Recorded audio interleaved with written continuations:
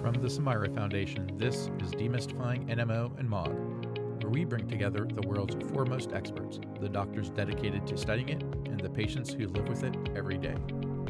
With support from Genentech. Hello, and welcome back for another episode. Our episodes are presented to help people better understand NMO and MOG. For some of us, these terms are used interchangeably, but as we will see, there is power in labels and definitions. Today we're going to be talking about double seronegative NMO.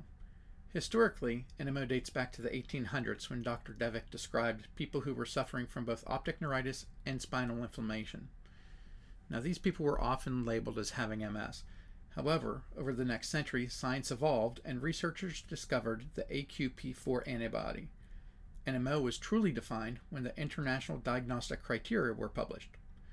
The next evolution was identifying MOG antibodies and establishing its own diagnostic criteria. But within the NMO and MOG community, a population of people present with the signs and symptoms of those diseases but have tested negative for both antibodies. These people are double seronegative. To help us learn more, we're going to be joined by three guests to help us look at all sides of double seronegative NMO. Our first guest is Nicole Helton of Tennessee. Welcome, Nicole. I appreciate you joining us today. Can you tell us a little bit about yourself? Okay, so um, I'm a 51 year old mother of five with two grandchildren, um, which in and of itself makes your life very, very hectic. uh, we're very active in church and we run a homeless ministry, my husband and I do. We teach recovery classes, um, jail ministry, all the aspects of that.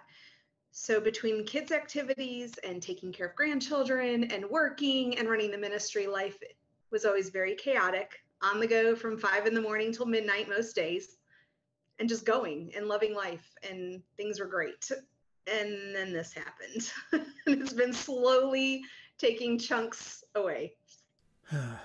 Can you tell us more about how it all started? Sure. So, in 2015, I had the first bout of optic neuritis. Um, I woke up one morning and just couldn't see out of my left eye.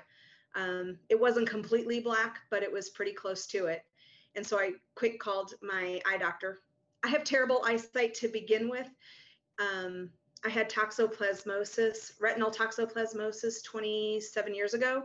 So my doctor knows me very well, keeps very good tabs on me. So when I called him and said, Hey, Dr. K, I can't see, he said, Well, come here. so I went straight to him and he um, did, I believe it was like an ultrasound of the back of my eye. And he said, Your nerves are so inflamed and so upset. He said, This is optic neuritis. He said, So we're going to do steroids. So I did oral steroids and topical steroids, um, drops in my eyes. Did that for 10 days. And gradually my vision came back pretty well. Um, we caught it really, really early, dealt with it really early, and it just it came back pretty quick with the oral steroids and stuff. Um, not fully, but for the most part. And then that happened like three more times over the next year and a half. And he sat me down and he said, You know, this doesn't happen unless you have MS. You don't get optic neuritis unless you have MS. You need to go get checked for MS. And he kept preaching it at me. Well, I worked for neurology. So I said, hey, listen, my eye doctor is saying I keep having all these optic neuritis things that I probably have MS. So um, they did a lumbar puncture, and evoked potential, MRIs, all sorts of stuff. And I did not have any signs. I didn't have any spinal lesions. I didn't have any of the O bands in the spinal fluid. There wasn't any evidence of MS. So they said, no, that's not it. It's just a freak thing because you're weird about a year later, um, I started having numbness and weakness in my left leg. And it would last for a month or two, and it would get real weak, and it'd feel like it was cold water running through it, and it would also feel like burning needles. It was just the weirdest sensation. Um, and I deal with it for a little while. They'd give me a steroid pack, said, you know, something's inflamed. Maybe you've got a pinched nerve. Tried spinal injections, all the things, and it would go away.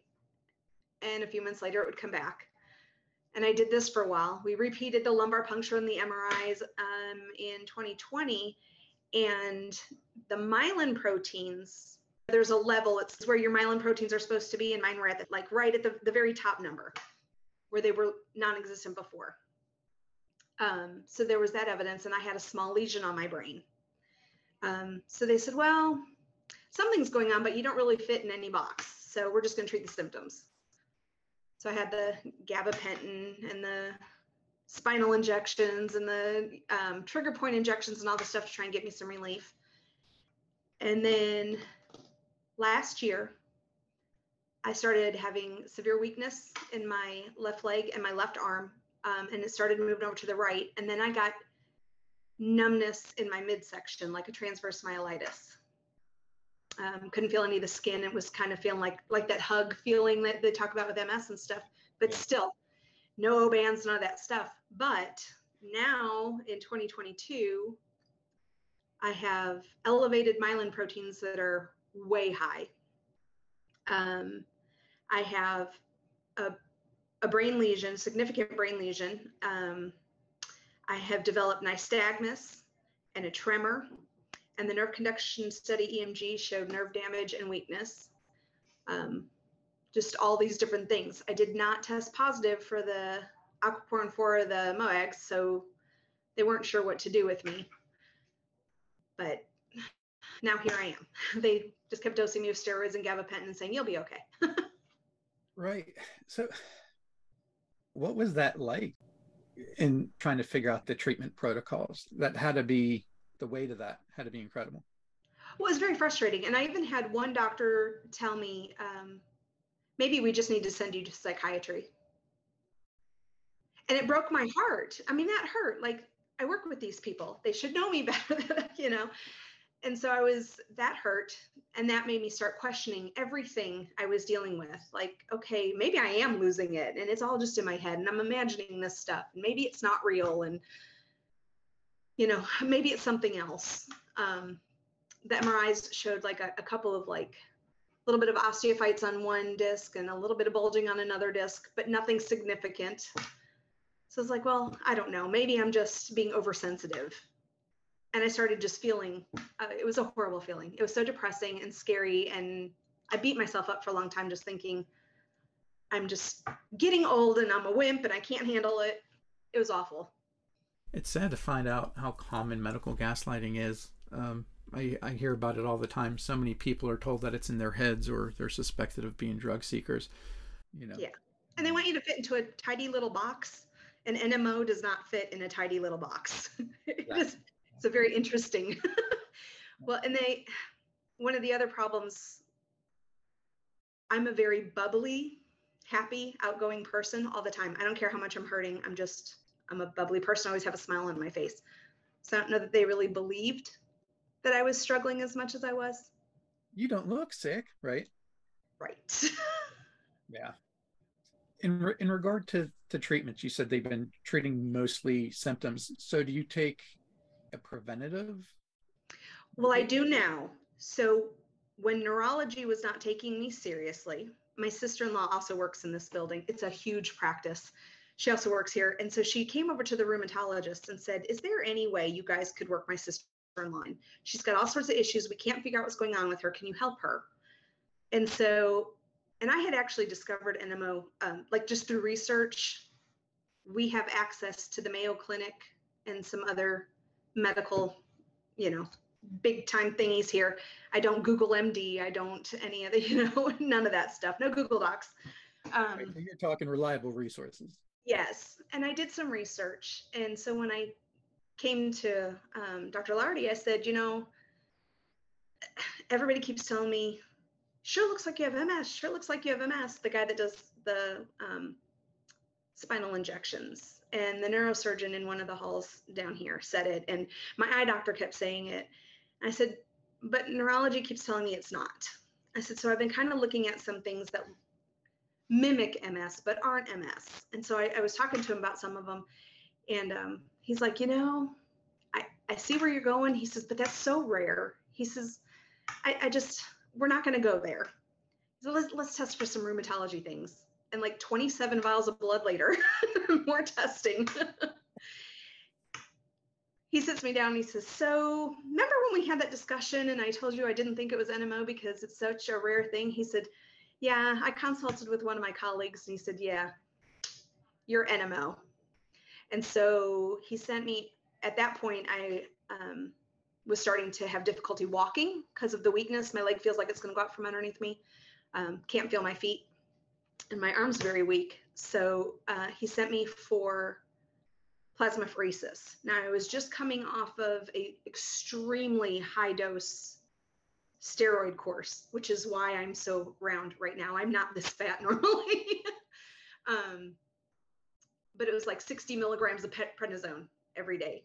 And then it went to 50 for 10 days and then, you know, taper down, but a lot of steroids. So when I finished that, um, he let my body rest for just a little while and then sent me for plasmapheresis. So I did five rounds of plasmapheresis, body rested a little while, and then we started Truxima. Um, my insurance wouldn't pay for Rituxan, but they pay for the biosimilar. Of course, I had to get a um, a patient assistance grant to cover my copay of seven thousand dollars in infusion. Ouch. Right. Yeah. But so now I just finished the Truxima infusions. So that's that's what we're going with now, and we're going to evaluate, see if I if you we're just going to watch because I work with him, so we're going to watch and see how I'm doing to decide whether I'm going to do it on a six month regimen or a year long regimen, depending on how I do.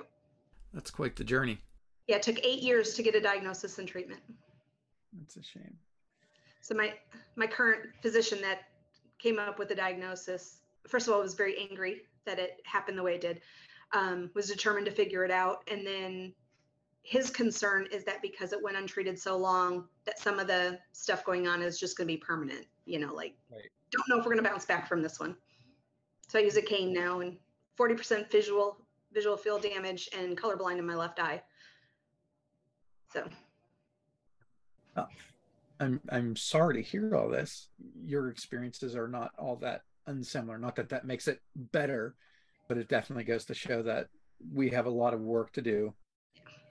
When I joined the the Devic's disease website that um, Sumaira Foundation did mm-hmm. the double negative off of, yeah. um, I joined that because I thought, okay, am I just being hypersensitive? Am I really imagining these things? What's going on?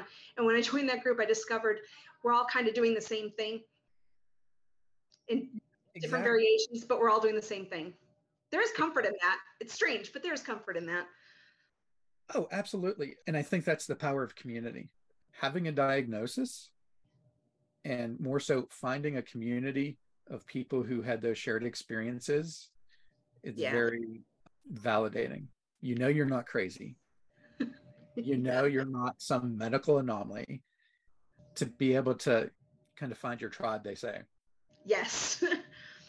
yep. You know, by the time I got the diagnosis, when I came to see Laurdy, I said, I, at that point, I don't care what you call it. I don't care. I don't care what name you put on it. I don't care if you don't give it a name. Just fix me. I don't care. Make me feel better. call it whatever you want. you just get to that point. Like, I just, I want to feel normal again, you know? Right. Well, hopefully, the establishment of this community um, and bring everyone together and finding the people out there that are double seronegative gives us an opportunity to start having that discussion on a grander scale. Yeah. And start digging into the science and finding the answers and getting it recognized so that there are no doubts of patients who aren't fitting into the little boxes. Right. So having this community and get, getting this these voices together um, is definitely going to be the first step, and hopefully we can we can change things very soon. I'm hoping there is an antibody for us that they just haven't discovered yet. And they will discover it and we'll have targeted treatment. As we learn more about NMO and now MOG, we're taking that leap forward and finding what is next. And the next evolution of that science is going to help us nail down what it is.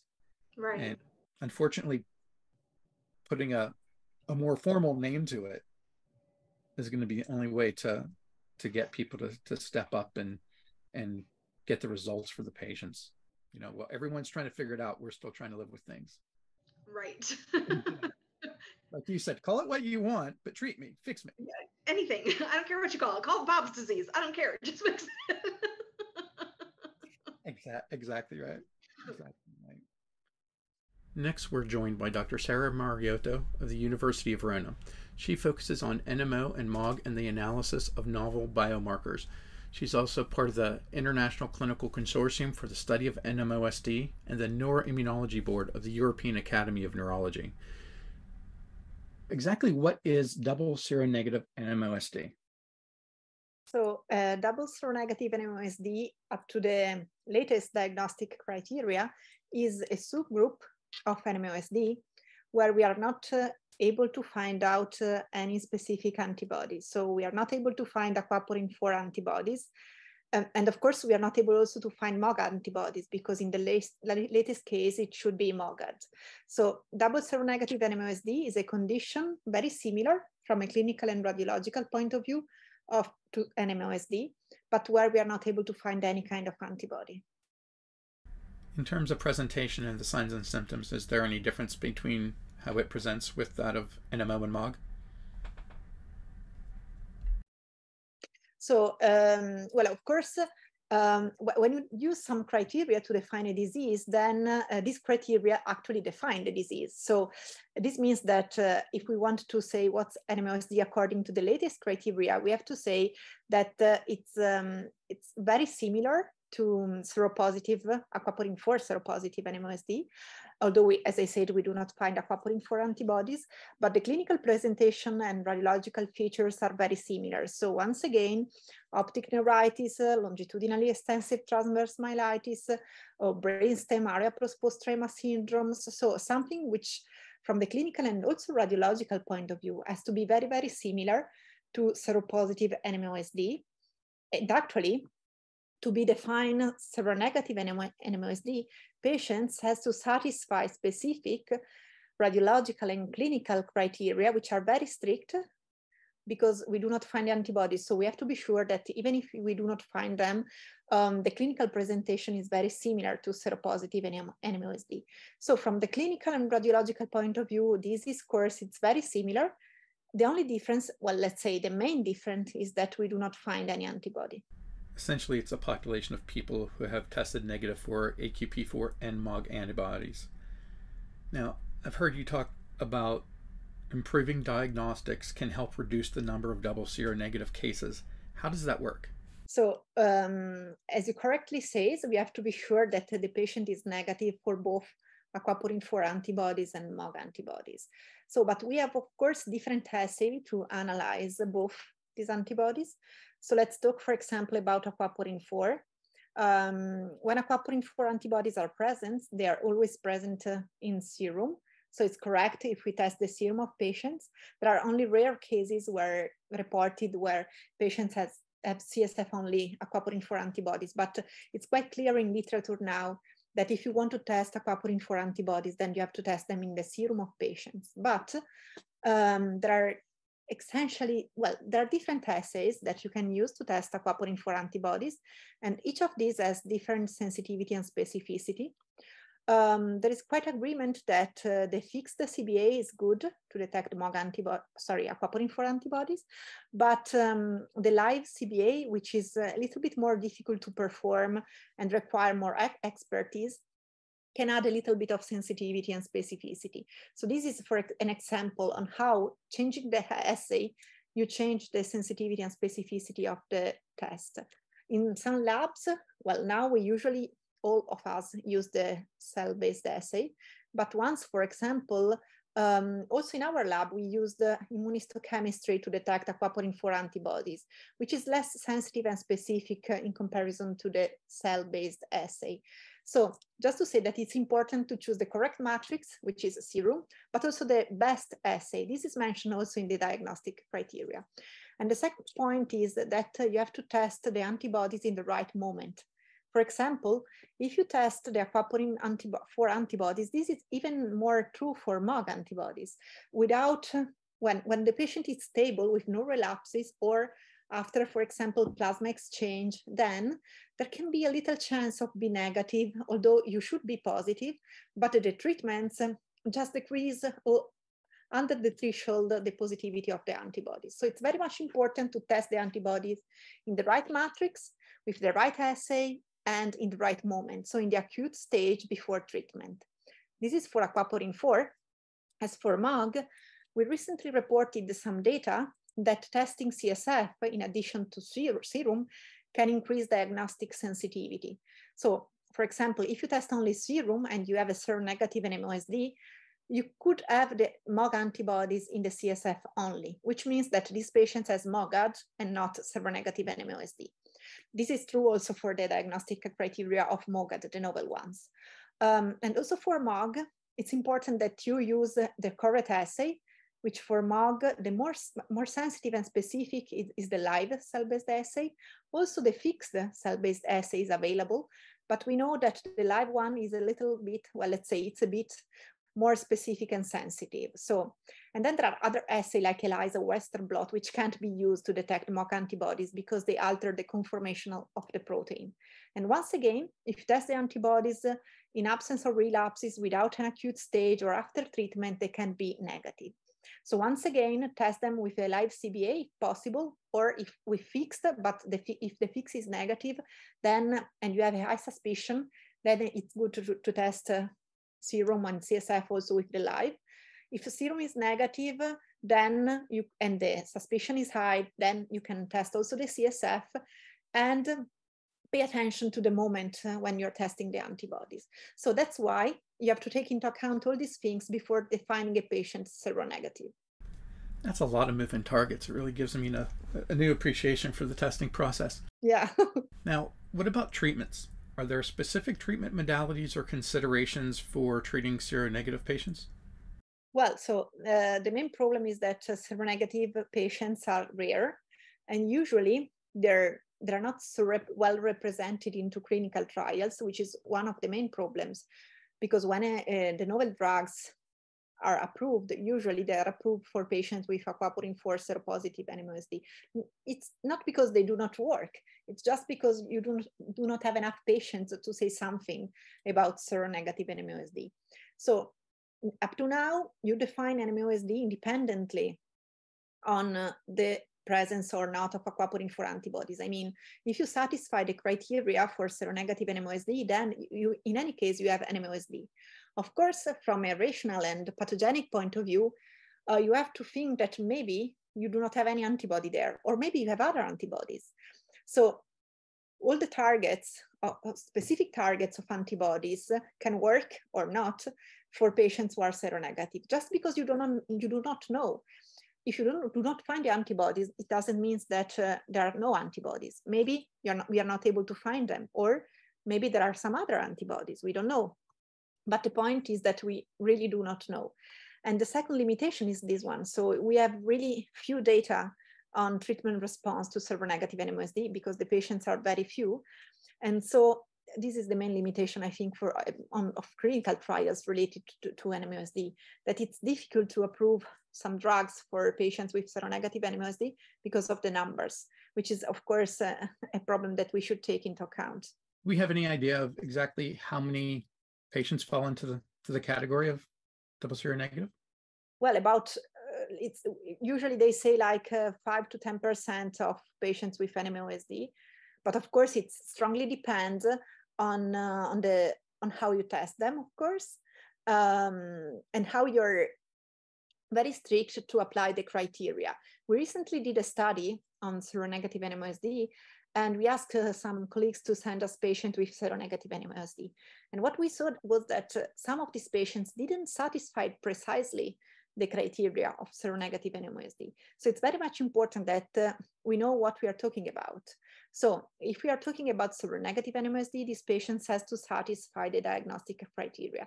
Sometimes we say, well, it's seronegative NMOSD, although it, it clinically from the clinical point of view, it's very similar, but actually doesn't fit the criteria. This should not be seronegative NMOSD, because we should talk about it only if this satisfies precisely the diagnostic criteria from, I mean, from a clinical point of view, of course. Then there are also cases with a similar clinical syndromes and radiological features, which looks like NMOSD, but do not satisfy the criteria. But this is another problem because uh, it's very important to be strict with the assays and the criteria to be sure about what we are talking about. Yeah, making sure everyone's defining the problem the same is important. And that kind of leads to the next question. Um, the diagnostic guidelines for NMO are about 10 years old, and the discussion about updating them has started. Now, we've had great strides in our understanding of the disease since they were originally published, but some have wondered if double seronegative NMO originally be a part of that or not. Can you share any insight on it? Mm-hmm. Yeah, sure. So well, what we, what it's true is that uh, there will be an update of the criteria because, of course, uh, there are so many novelties these days, like uh, MOG antibodies, the MOGAD criteria, the novel biomarkers. So I think, uh, uh, well, from my point of view, that it's very much important to update the criteria. And of course, uh, how to define and where to put seronegative NMOSD is very is a very much important point. Um, well, but I think that um, rather to put them out from NMOSD, which is something which, of course, um, it's difficult to think for all patients who are diagnosed with NMOSD. Um, I think that the focus should be um, to try to understand what's there. So which antibodies, which biomarker, um, to better define these patients, uh, which uh, of course, uh, in the last year, there, there, has been a big discussion on what is seronegative NMOSD and where to put it.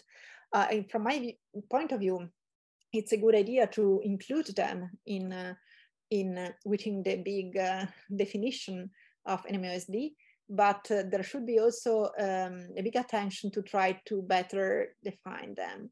Um, from a biological, clinical, radiological, and treatment point of view, because these patients exist, of course, they could be different, um, but they need to, um, to be part of a disease and they need to know what to do and what's going on in their condition. Who decides the diagnostic criteria like that? Like, how do they reach consensus? Well, uh, so usually a process uh, is based on um, expert clinicians and researchers in the field, um, which discuss about uh, the main topic of, uh, of the condition, uh, or altogether or in subgroups according to their specific expertise and uh, and of course according to literature data because it's not only a personal view it's also of course based on what has been published and what has been told um, and then they try to reach a consensus about uh, different topics which is of course not only um, how to define the disease but also which are the um, main clinical points main radiological features uh, where how we should test the antibodies um, which biomarkers could be useful. So it's um, a big uh, discussion on different uh, subtopics related to, to, the disease by a panel of experts who try to, to define as, as better as, as is possible um, uh, the, the specific disorder. What would it mean if it was separated out from the diagnostic guidelines? Well, I, I, I don't. I'm not sure that it's uh, it's a good idea to think about that because I, am also not sure that uh, this will happen. So um, would be good to discuss before before that. Of course, whenever you remove someone from a category, then you should uh, decide where to put it. So it can't be that you just put out some patients uh, and then uh, th that's all. You have also to define where this patient should be put in. That's why I was sp speaking about MOGAD, because, for example, I'm strictly convinced that, but it's also described in literature, that a significant percentages of seronegative NMOSD now we, that we know about MOG antibodies are defined within the MOGAD criteria. So I think that the good point is uh, um, to, to, try to work more on the definition. So to try to find out something there, because whenever you find novel antibodies, novel biomarkers, then um, although maybe these patients are no more part of an NMOSD, but maybe they can be part of another condition. So many of them just moved after the detection of MOG antibodies from NMOSD to MOGAD, which is not good nor worse. But anyway, I think that it's good to know where you are. And uh, also because you know which condition you have, so which is the prognosis, which are the best treatment. So I think it was a good point for all patients with seronegative NMOSD, which moved to the proper condition. So I think that the community sh should work a lot on seronegative NMOSD, but especially in trying to put it in the right category which can be for someone NMOSD, for other MOGAD, or for other maybe something else that we do not know yet. So, would there be guidelines developed for double seronegative? Yeah, I don't think that. Uh, from, I mean, this is of course my point of view, but uh, I don't think that you can just take a disease and put it out and forget it. Um, uh, the criteria, I mean, the, the latest one has been thought to um, include within the seronegative criteria patients with a very strict clinical and radiological pictures, very, very similar to that of seropositive NMOSD. It's very difficult to satisfy the criteria because they were really strict. So you don't need only a correct clinical phenotype, but also you need also a proper radiological phenotype. And so I think that they were designed to try to catch up all that patients uh, with a high suspicion of being NMOSD, but where you couldn't find the antibodies. So you can't, I don't think that you can simply forget them and then just say, well, they do not exist because we know they exist. They're not so many, but they are there.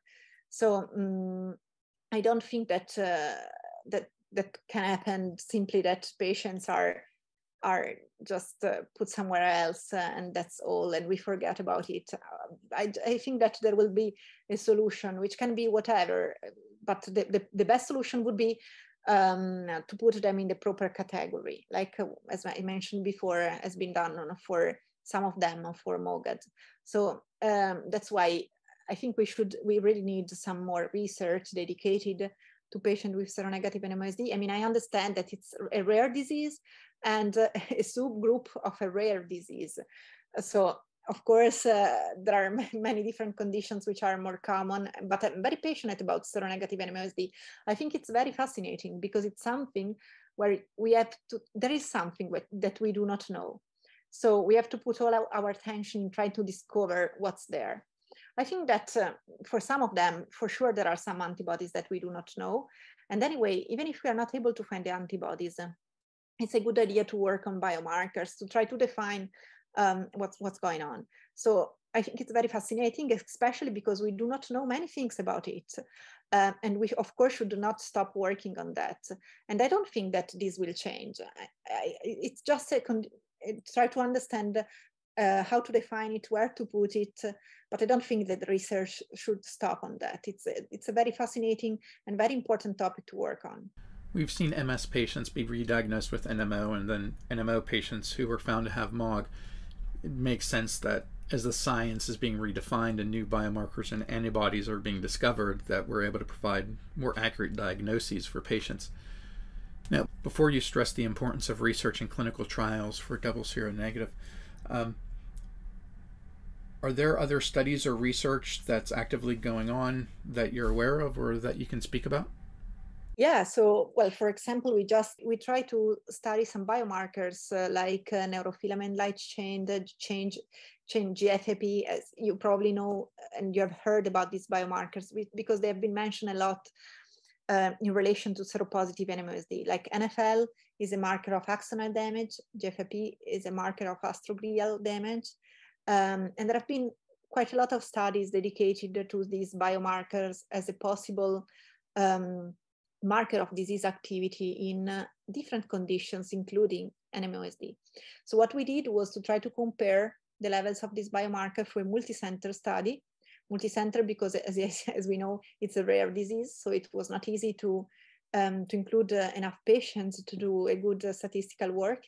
So we try to measure these biomarkers in the serum of patients with seropositive NMOSD and seronegative NMOSD to see what's going on there and what happened.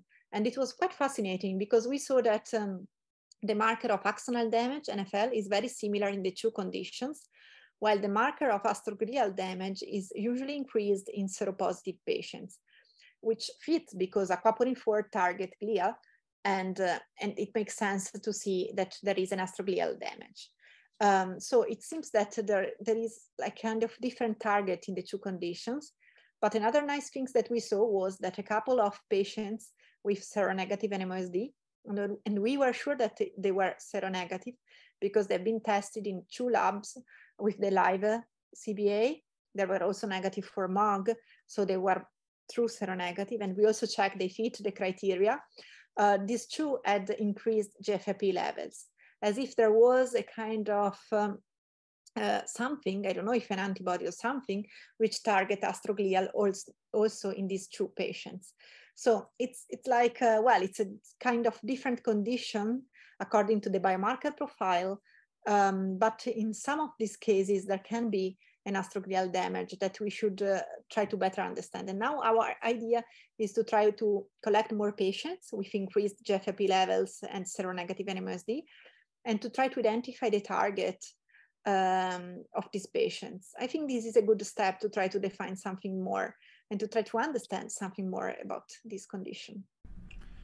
Any final thoughts or key takeaways? The, the important thing is to, to know something as but we already mentioned it about the assay that we should use um, to know that there is uh, research and science going on so we are not left alone we are very patient and working on that um, it's also important to um, i think to refer to the right physicians because as in all rare disease not all neurologists uh, in all the world are very much expert about that. So it's very important to um, to know who where what so to know who you're referring to. And um, because of course it's not easy as i mentioned sometimes uh, uh, the idea is that well these patients fitted the criteria i did everything but maybe that was not the case. So it's very important to um, to go to the right uh, doctors uh, which are expert on the field. And uh, then to know and also it's very much important to know that we are still working a lot on that um, from many different points of view. And uh, and hopefully there will be also more more funding dedicated to these, these disorders because whatever we do of course we do it uh, with kind of support and with all our passion.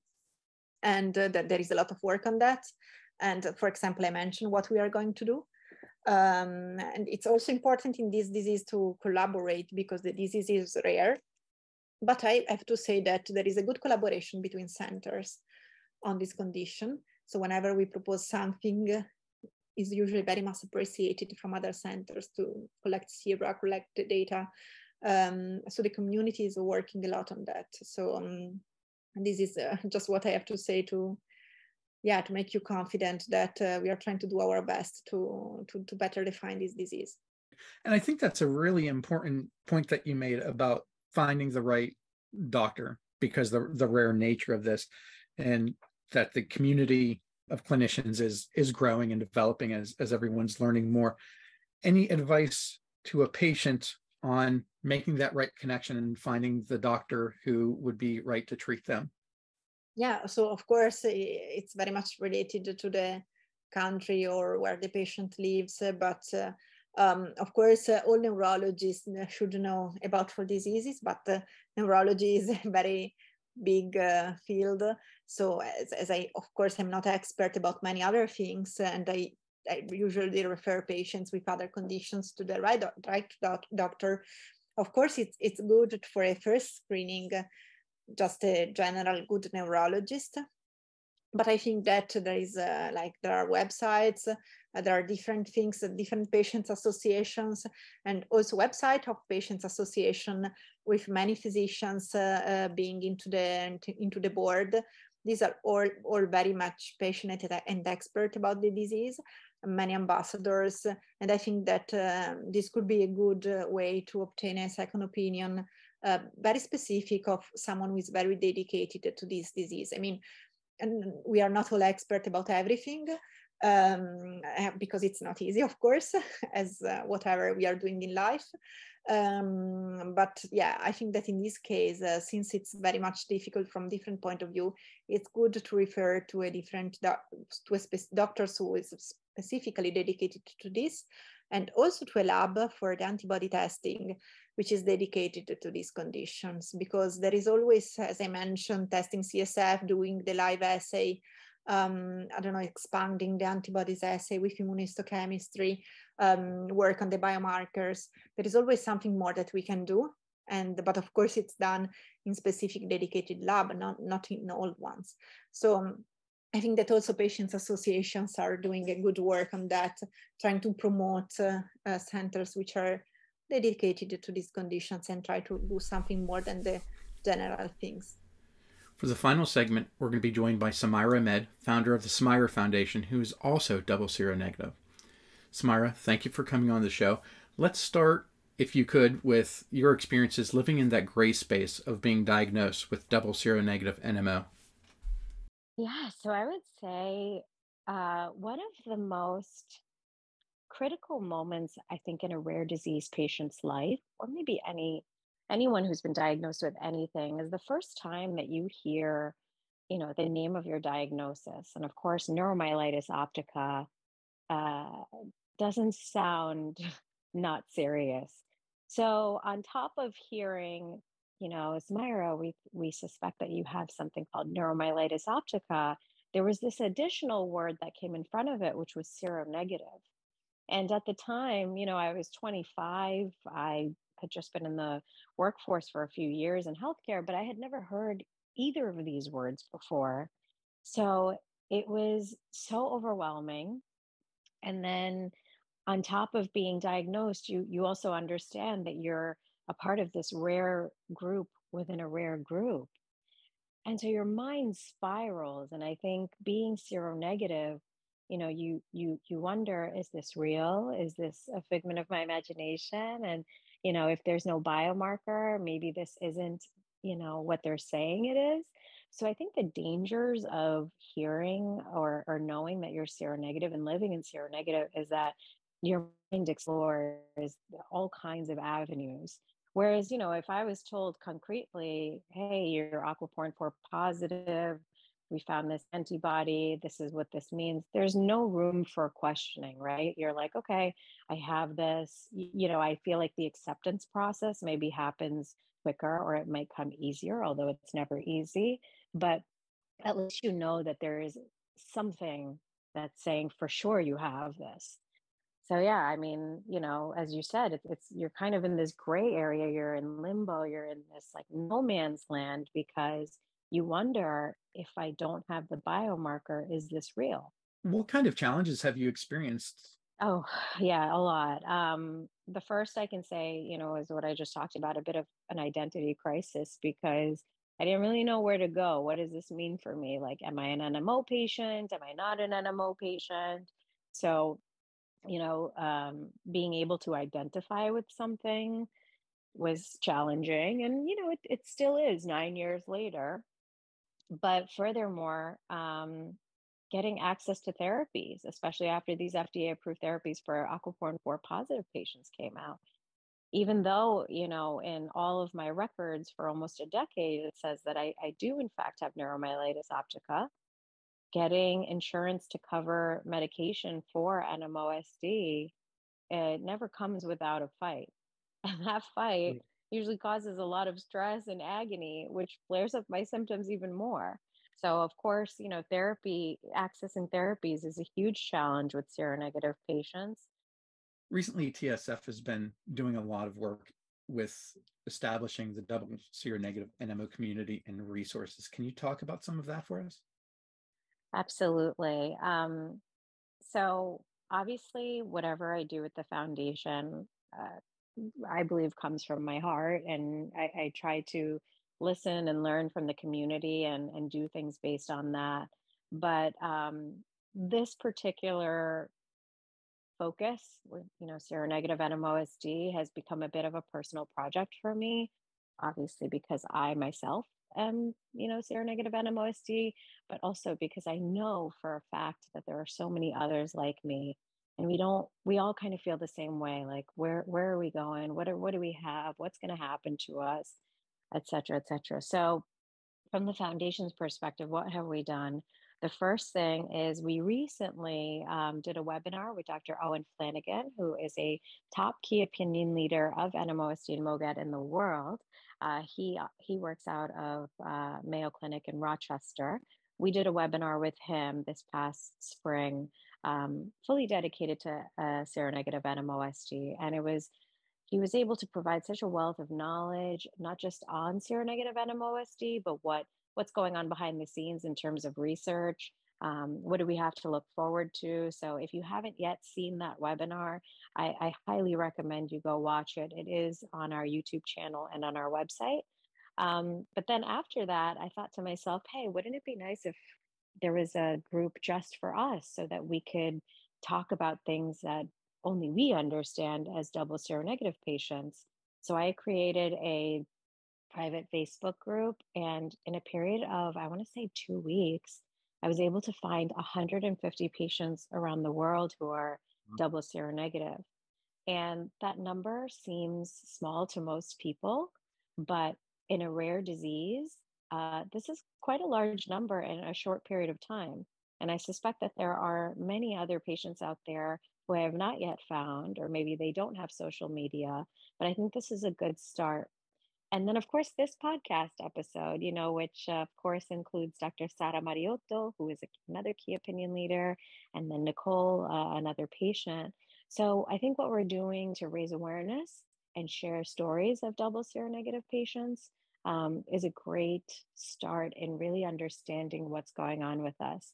We're also doing a push on sharing more stories via Voices of NMO um, and sharing more stories about these patients and what their experiences have been like so that we can learn from them and also see what can we do to make all of our lives easier with without a biomarker. I know even as a, a MOG patient, I watched the webinar with Dr. Flanagan and I learned a ton from it. And it really informed me even more about my disease, just listening to him talk about his experiences and the research and the nature of double seronegative. And when I was talking to Dr. Mariotto, um, it was interesting to hear that she estimates between 5 to 10% of what we consider the NMO population is double seronegative. So I was mm-hmm. really surprised to see that the community is potentially that that large. When you look at the access to testing, so there are probably a number of patients that are out there having symptoms that have never been tested for for either antibody, mm-hmm. and we just haven't been able to, to find them yet, which is a shame. Mm-hmm. Without access to testing comes access to medication. Exactly. Leads me to the next point that advocacy is so important for rare diseases in general. What can patients and caregivers and even clinicians do in that arena? I think we just need to keep speaking up and reminding people that, especially decision makers and insurance companies and folks who are, uh, you know, developing guidelines or whatever, I think we need to keep reminding them that we also exist, that we're also, you know, struggling and have all these symptoms. Um, and have all of these challenges because my biggest worry is that we're going to be forgotten. And there's yeah you know brian i go to all these conferences now which is great. I'm not really a science kind of gal but i'm trying to learn the science. And one thing i see for sure you know over the last four or five years at these you know webinars, conferences, podcasts. Everyone for a while was talking about aquaporin 4 positive. Of course, that's great. And now it's like you you turn your head and it's MOGAD, MOGAD, MOGAD, and that's wonderful. But I feel that nobody's talking about seronegative NMOSD, and that makes me really nervous. I worry about the future of our patients. Um, I can tell you this is something that I only recently talked about publicly, started talking about publicly, was that you know, there was a period of time where I was failing so many therapies. Um, and because I didn't have a positive antibody for anything out of maybe defiance and frustration and aggravation, I decided to go off all my meds a few years ago because I was so angry at everyone, at the world, at my disease, yeah. at my body. And uh, Uh, lo and behold, I had the worst relapse of my life. And of course, after that, I learned okay, even though I don't have a biomarker that's been yet identified, something's clearly going on and I need to be on meds.